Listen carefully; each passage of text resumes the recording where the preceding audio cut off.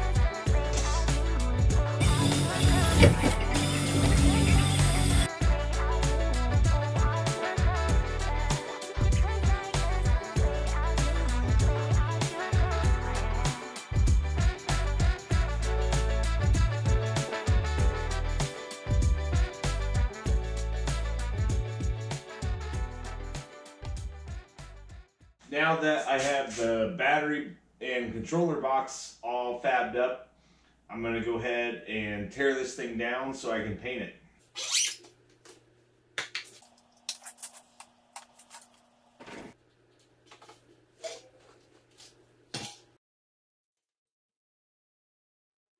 Before the comments come in saying, why didn't you pull the crank or lower, whatever you guys call this, apart? I put the little puller on there and they would not come off. I've done it with a bunch of bikes and they come off. This one, they were stuck on there. Really good. And the bearing down there feels pretty good. I already taped over it and I'm gonna paint around it. No big deal. If it ain't screwed up, don't mess with it. So I taped over it. I can paint around it. I'm confident. And I used only about a third of a roll.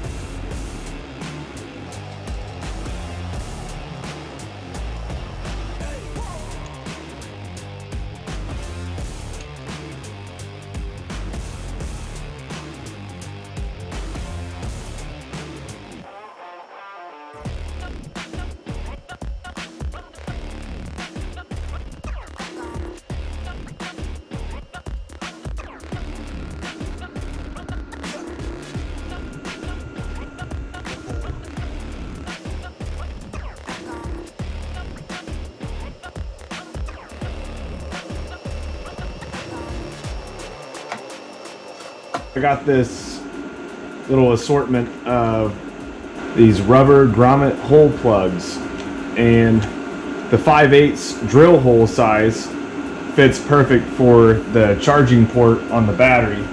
This is the charging port for the battery right here and I'm going to bring it through this side of the bike.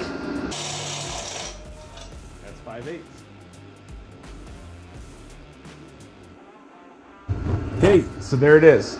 There's the charging port, conveniently located on the outside of the welded steel box.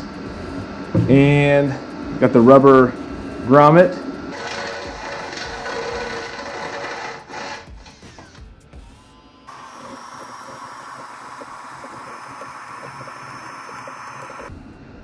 So the wires for the throttle, the display, and the motor are all going to come through this hole here. So I'm not going to get super in depth with the wiring on these. Typically all the kits come with instructions with a nice layout of what wire is what and where it goes. And typically the plugs won't let you plug them in somewhere where they're not supposed to go. Also keep in mind these are lithium ion batteries. I'm sure you've seen where e-bikes have caught fire and all that stuff. I try and follow all the manufacturer's recommendations as far as charging, storage, and all the other safety measures.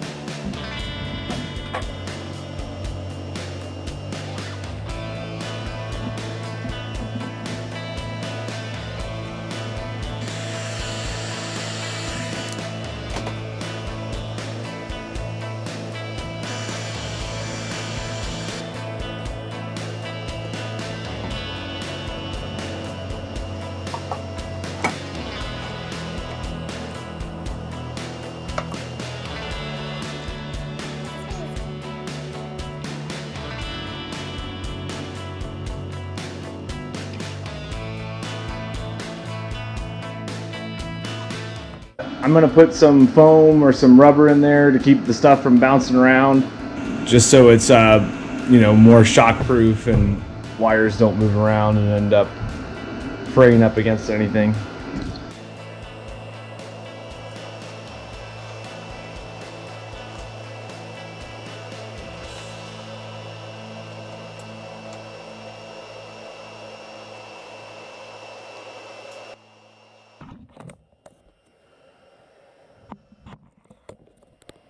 So I'm going to use this GPS speedometer app. It'll tell me my average speed, my distance, and my max speed for this trip. So we'll look at that when I'm done. So the chain that was on this bike before was pretty rusty and I ordered a new one and for this test drive I didn't have the chain on it so there was no pedaling during this test drive. This is all the motor.